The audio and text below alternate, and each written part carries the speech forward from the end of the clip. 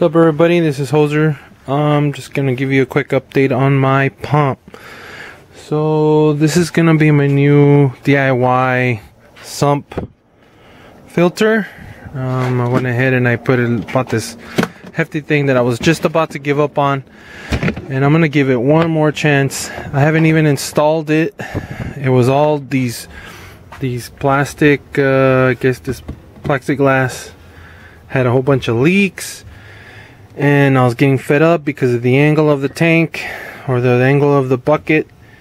Um, I put these little things for the the the drip plate. Um, I haven't really tested it out yet. I'm just making it out here. This is the foam.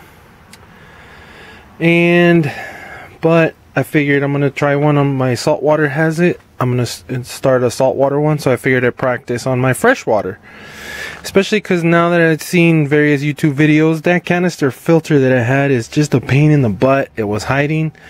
I had it in the under the, the tank the aquarium to take it all apart. It was just gonna be a pain. So I never did. Uh, I just went ahead and left it there. It's been almost a year.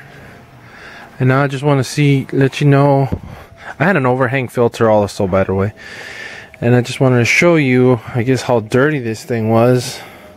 This is my old canister filter now. Um, I mean it's cool. It's leak it doesn't leak. Um, so everything was fine. It ran fine. I even had I had a bucket on here. It was inside here just to test it out make sure that it didn't leak. Um, but it never leaked. The only problem is getting into here to clean all this crap out. And now I'm going to show you how dirty this thing was. I used these sponges. and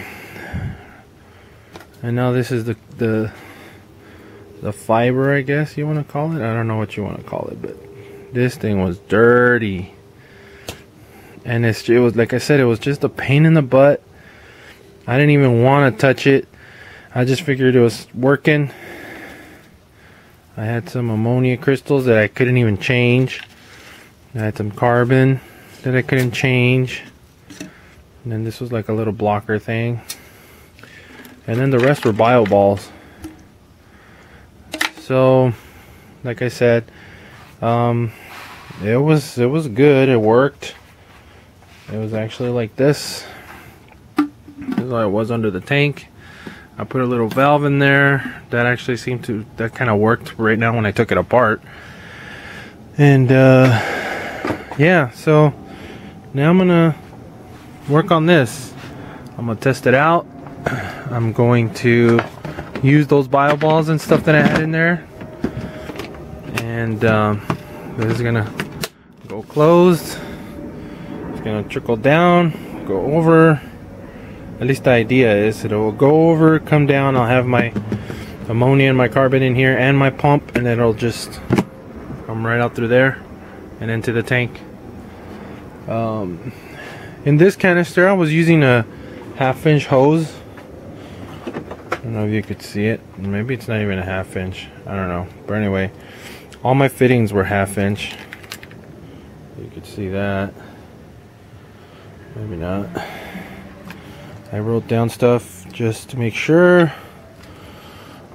I, I like to dumb everything down. I don't like making mistakes. Because as you know, when you screw it up and you have to take it apart, oh, it sucks. So anyways, um, now I'm going to work on this and I'll give you an update later. Show you what's going on. And we'll go from there. Alright, later.